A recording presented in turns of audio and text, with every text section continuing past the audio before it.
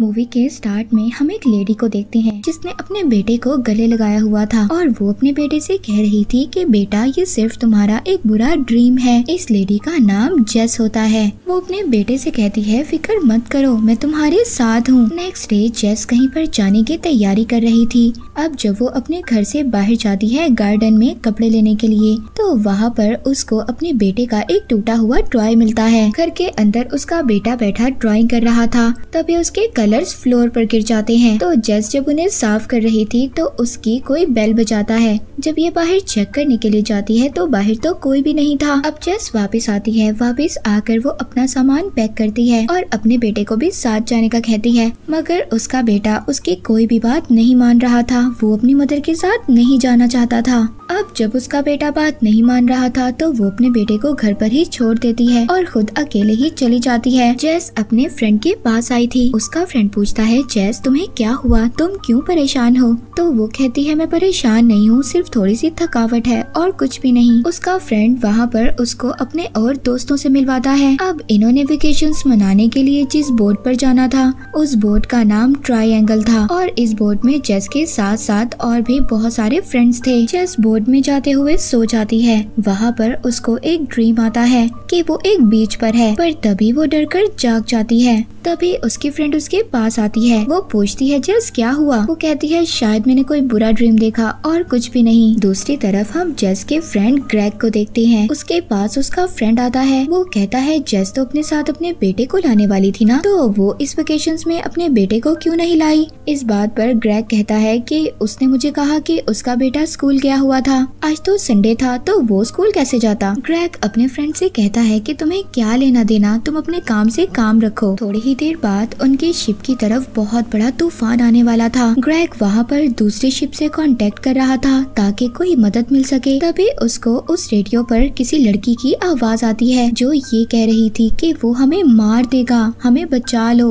और इसके बाद उसका कांटेक्ट टूट जाता है। अब वहाँ पर बहुत बड़ा तूफ़ान आ गया था। वो अपने शिप को बचाने की कोशिश करते हैं, मगर उनका शिप उस तूफ़ान में डूब गया था। पर उन सबने लाइफ जैकेट पहनी हुई थी, जिसकी वजह से वो बच जाते हैं। और अब वो सभी लोग अपनी डूबी हुई शिप के ऊपर चढ़ गए थे। पर इनमें से एक फ्रेंड गायब थी। वो किसी को भी नहीं मिल रही थी। तभी ये लोग देखते हैं दूर से एक बहुत बड़ा शिप आ रहा था। ये उसको हेल्प के लिए हाथ हिलाते हैं। पर ये सब लोग चुपके से उस शिप पर चढ़ जाते हैं, जब वो शिप इनके पास से गुजर रहा था। ये लोग अब शिप के अंदर तो आ गए थे, मगर इन्हें शिप के अंदर कोई भी नहीं मिलता। पूरा शिप बिल्कुल खाली था। जैस जब इस शिप को देख रही थी तो वो अपने फ्रेंड ग्रैग से कहती है मुझे ऐसा लगता है कि मैं पहले भी यहाँ पर आ चुकी हूँ। वहाँ पर जेस के जो बाकी फ्रेंड थे, वो वहाँ पर पिक्चर देखते हैं, जिस पिक्चर में इस शिप की पिक्चर बनी हुई थी, और उसी के साथ एक किंग की पिक्चर भी थी, जिसके नीचे ये लिखा हुआ था कि उस किंग ने मौत के देवता से अपनी ज़िंदगी वापस मांगी थी, कि हमेशा हमेशा के लिए वो इस दुनिया में ही रहेगा, वो इमोर्टल होना चाहता था। तो मौत के देवता ने उसको कहा कि तुम एक बहुत बड़े पहाड़ पर एक बहुत बड़ा पत्थर लेकर जाओगे। अगर तुमने ऐसा कर दिया तो तुम हमेशा हमेशा के लिए ज़िंदा हो जाओगे। तुम इस दुनिया में रह सकते हो। अब जब वो किंग वो पत्थर उस माउंटेन के ऊपर ले गया था बार बार वो पत्थर नीचे गिर जाता है। और ये तब तक होता रहेगा जब तक उस किंग को अपनी गलती का एहसास ना हो जाए। अब जब ये सब मिलकर हिस्ट्री पढ़ ही रहे थे तो तभी यहाँ पर इनको कुछ गिरने की आवाज़ आती है। और जब जस का फ्रेंड वहाँ जाकर चेक करता है तो उसको जस की कुछ कीस मिलती है। अब जस तो इनके साथ थी तो ऐसा कैसे हो सकता है कि जस की कीज वहाँ पर हो। ये सब लोग हैरान थे। तो तभी यहाँ पर एक फ्रेंड कहती है, शायद वो हैदर हो। ये उस लड़की के बारे में बात कर रही थी जो शिप के डूबने से गायब हो गई थी। और अभी ने ऐसा लग रहा था, शायद वो ही लड़की हो। तो अब ये सब लोग उसको चेक करने के लिए एक रूम में जाते हैं। जब ये उस रूम में जाते हैं तो ये देखकर हैरान हो गए थे। वहाँ पर बहुत सारी खाने की चीज़ें थी। ऐसा लग रहा था कि जैसे ये चीज़ें किसी ने अभी अभी रखी हो। जेस का फ्रेंड जब वहाँ पर उससे टाइम पूछता है तो जेस की घड़ी साढ़े आठ पर रुक गई थी, जबकि उसके फ्रेंड ग्रैग की घड़ी साढ़े ग्यारह पर रुक गई थी। पर तभी वहाँ पर अचानक से जेस को कुछ नज़र आता है, और तभी ये लोग उसको देखने के लिए जाते हैं। इनके दो फ्रेंड्स अभी भी इसी रूम में थे। जेस और ग्रैग जब दोनों खड़े बातें कर रहे थे, तभी उन्हें एक रूम से आवाज़ आती है। ये रूम को चेक करने के लिए जाते हैं। तो वहाँ पर मिरर पर ब्लड से लिखा हुआ था गो टू द थिएटर ये लोग अब थिएटर में चेक करने के लिए जाते हैं। जेस अपने फ्रेंड ग्रेग को मना कर रही थी। वो कहती है ग्रेग वहाँ पर मत जाओ। हो सकता है वहाँ पर कोई खतरा हो। उसका फ्रेंड उसकी बात नहीं मानता और थिएटर के अंदर चला जाता है। तभी जेस उसी रूम में वापस आ गई थी, जहाँ पर उनको फ्रेश खाना मिला था। पर जेस जब वापस आती है तो वो जगह देखकर हैरान हो गई थी, क्योंकि वहाँ पर जो फ्रेश खाना था, वो सारा खराब हो चुका था और उसके जो दो फ्रेंड्स इस रूम में रुके थे, वो भी यहाँ पर नहीं थे। वो ये समझती है कि शायद वो बाहर चले गए हों। पर तभी वहाँ पर जेस का एक फ्रेंड आता है। उसकी पूरी बॉडी पर ब्लड लगा हुआ था। वो आते ही सार जेस पर अटैक कर देता है। जेस भी अपने आप को बचाने के लिए उस पर जब अटैक करती है तो उसका फ्रेंड मर चुका था। अब जेस को एक बुलेट चलने की आवाज़ आई थी।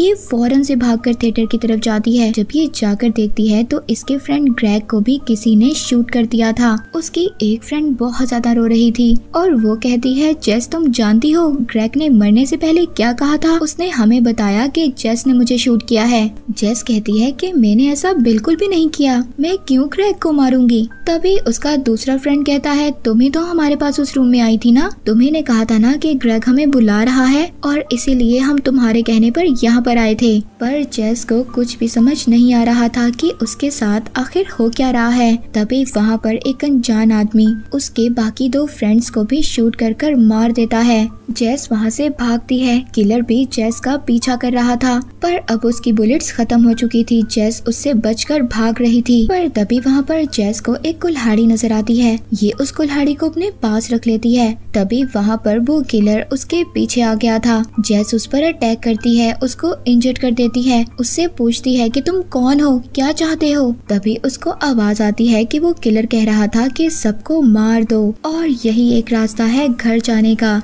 इसके बाद वो किलर खुद पानी में डूब जाता है। अब जैस बिल्कुल अकेली थी। तभी वहाँ पर उसको कुछ आवाज़ें आती हैं। जब वो चेक करती है तो वो देखती है, वो ही शिप जो उनका डूब चुका था। उसके ऊपर सभी फ्रेंड्स खड़े थे और जेस भी थी, जो अभी तक मदद के लिए पुकार रहे थे। जेस जब ये देखती है तो वो शॉक्ड हो गई थी। जेस वहाँ से चली जाती है।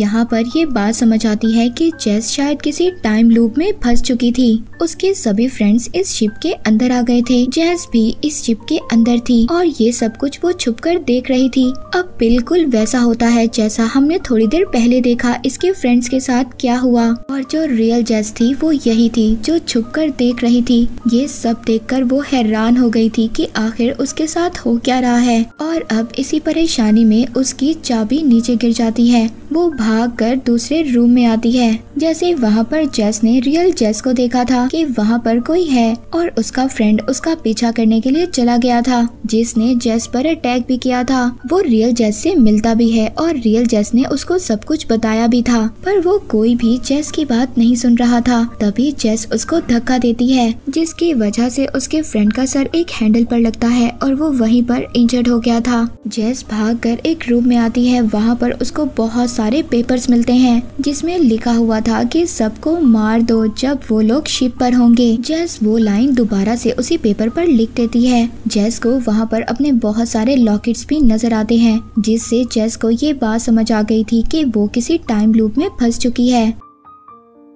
अब ये जो रियल जेस थी, ये डिसाइड करती है कि ये किसी ना किसी तरह इस टाइम लूप से बाहर आएगी ताकि ये अपने बेटे से मिल सके। जेस अब एक गन लेती है और सबको मारने के लिए चली जाती है। तभी उसका फ्रेंड उसके सामने आ जाता है जो इंजर्ड हो गया था, मगर जेस उस पर बुलेट नहीं चला पाती। वो तभी अपनी कॉपी जेस को देखती है जो अपने फ्रेंड्स के साथ थी तो वो फ़ौरन से छुप जाती है और उस जेस को मारने की कोशिश करती है। और इसी वजह से उसका फ्रेंड वहाँ पर मर गया था। तभी हम देखते हैं ग्रेग को जिसने मारा था। जो ओरिजिनल चेस थी, वो इस चेस से पहले आई थी। यानी कि वो जैस ही थी जिसने उसके फ्रेंड ग्रेग को मारा था। जेस के दो फ्रेंड्स जो ग्रेग के पास थे तो उनके पास ओल्ड जेस आती है। पुरानी जेस उसके दोनों फ्रेंड्स को अपने साथ ले गई थी। जब रियल जेस उनको आवाज़ देती है तो पुरानी जेस उनसे कहती है कि इग्नोर करो। वो दोनों को एक रूम के अंदर ले आती है और वो उस रूम में लाकर दोनों को नाइफ से स्टैप कर देती है, जिसमें जेस का मेल फ्रेंड मारा जाता है। और जेस की फ्रेंड जो बच गई थी, वो जल्दी से कंट्रोल रूम के अंदर जाती है और वहाँ पर रेडियो पर इन्फॉर्म करती है कि वो हमें मार रही है। और उसकी ये आवाज़ जेस के फ्रेंड ग्रैग ने सुनी थी। जैसा हमने हमने पहले देखा था। यानी कि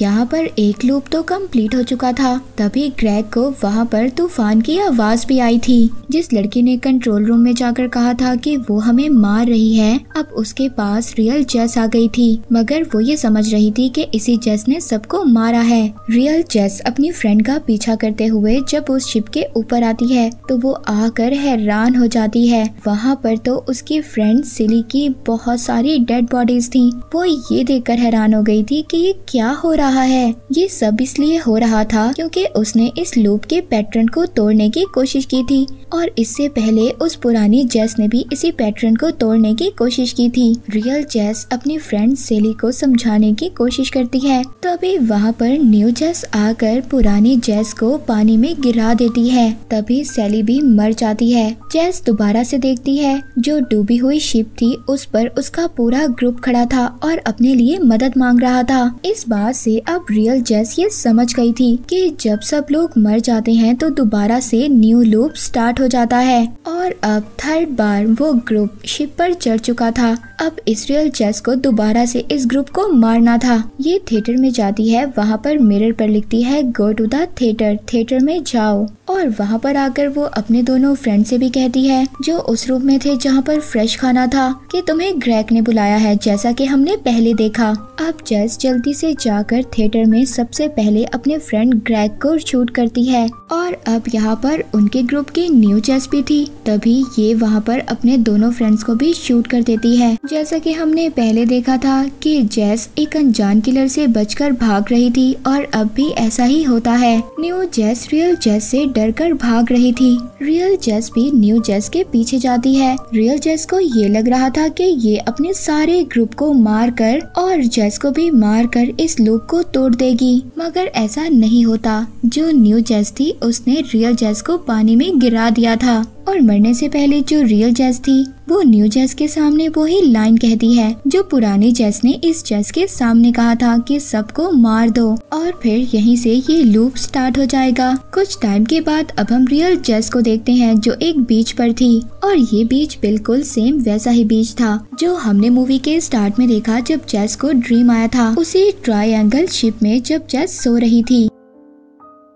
जो जेस जो बीच पर थी, वो अपने घर आती है। घर आकर वो देखती है कि वहाँ पर तो एक और जेस थी जो अपने बेटे को डांट रही थी कि तुमने अपना टॉय गार्डन में क्यों छोड़ा? और जब ये अपने घर में देख रही थी तो इसके बेटे ने इसको देख लिया था, जिसकी वजह से उसका पेंट फ्लोर पर गिर गया था। इस बात पर जो घर में जेस थी, वो उसके बेटे को बहुत ज़्यादा मारती है। तभी जब ये देखती है तो ये घर की बेल बजाती है। जब वो जेस देखने के लिए बाहर आती है तो ये खुद अंदर चली गई थी। रियल जेस अंदर आकर उस पुरानी जेस को मार देती है। ये सब उसके बेटे ने देख लिया था। जो हमने मूवी के स्टार्ट में देखा, वो अपने बेटे को हक करती है और कहती है कि, बेटा, ये तुम्हारा सिर्फ़ बुरा ड्रीम था। रियल वाली जेस पुरानी जेस की डेड बॉडी बैग में डालकर अपनी कार में रख लेती है। अब जब वो अपने बेटे के साथ गाड़ी में जा रही थी, तभी एक गर्ल आकर उसकी फ्रंट स्क्रीन से टकरा जाता है और वो मर गया था। जब ये उसको दफनाने के लिए जाती है तो वहाँ पर तो बहुत सारी गर्ल्स थी। यानी कि इसका मतलब ये था कि इसराइल जेस के आने से पहले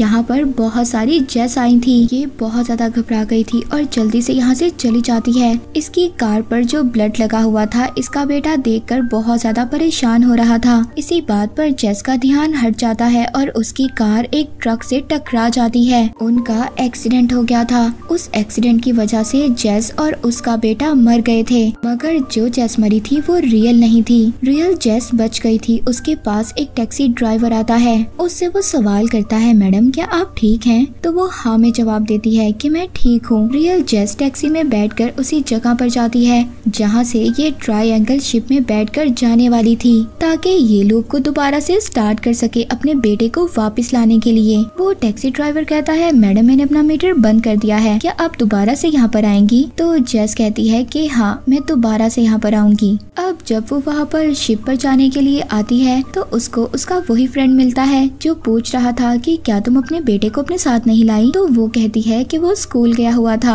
अब वहाँ पर ग्रैग भी आ जाता है, यानी कि ये वही सीन था जो हमने मूवी के स्टार्ट में देखा। और जेस इस टाइम पीरियड को दोबारा से स्टार्ट कर रही थी, यानी कि टाइम लूप को दोबारा से स्टार्ट कर रही थी अपने बेटे को वापस लाने के लिए। जेस उसी शिप पर चढ़ जाती है, जिस पर उसका सारा ग्रुप था। और शायद इसी तरह जेस का ये टाइम लूप चलता रहे। वो इस ट्रायंगल से कब निकलेगी कोई भी नहीं जानता था। यहाँ पर रियल स्टोरी ये थी कि जेस अपने बेटे के साथ अच्छा सलूक नहीं करती थी। तभी उसको मौत के देवता ने सबक सिखाने के लिए टाइम लूप में फंसा दिया। जैसे कि उन्होंने शिप में पढ़ा था मौत के देवता के बारे में। और इस टाइम लूप से निकलना तभी मुमकिन था, जब उसको अपनी गलती का एहसास हो जाए। और फिर यही रियल जेस अपनी गलती को छुपाने के लिए बाकी जेस को मारती रही और अपने बेटे के साथ भागने की कोशिश भी की। मगर जेस को कभी भी अपनी गलती का एहसास नहीं हुआ। इस वजह से उसके साथ ये सब कुछ हो रहा था। जो हमने देखा कि बार बार वो टाइम लूप में फंस जाती है। और वो ड्राइवर ही था जो दरअसल मौत का देवता था, जो बार बार उसको वहीं शिप पर लाकर छोड़ देता था। और इसी के साथ ये मूवी यहीं पर एंड हो जाती है।